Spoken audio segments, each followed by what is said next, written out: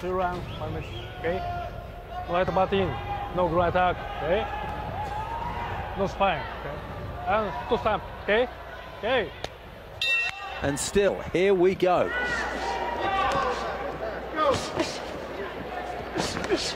100 records, but As, as I said earlier,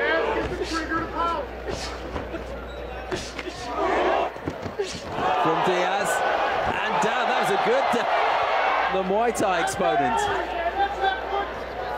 smart move because that's exposing that arm to attacks. Yelling for that key lock, telling him to attack.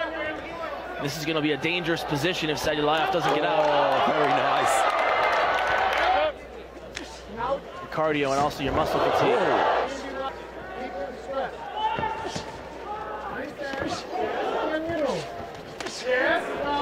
Leads with his right hand, Diaz. Needs to step outside of that front foot and start circling away from it. Square on with his body. 30 seconds, we gotta hit the push. 30 секунд, Юшка, 30 секунд. Throw it again. Throw it. There it is again. It comes back with, oh, brutal kick.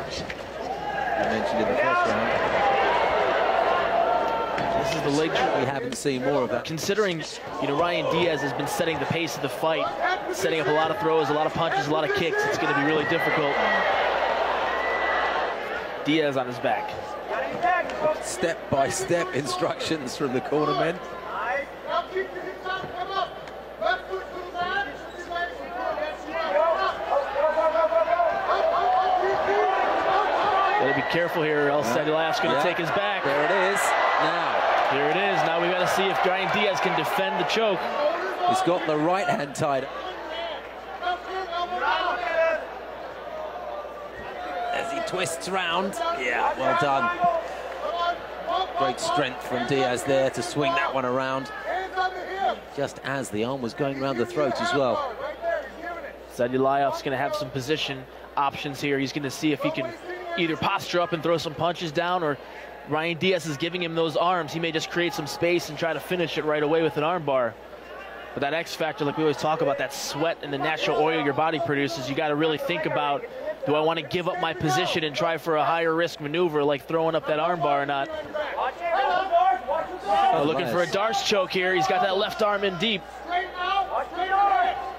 Ah, I can't really tell from this angle how tight it is, but that left arm's in. Oh, there it is! Yes. Oh, Jason, you saw it.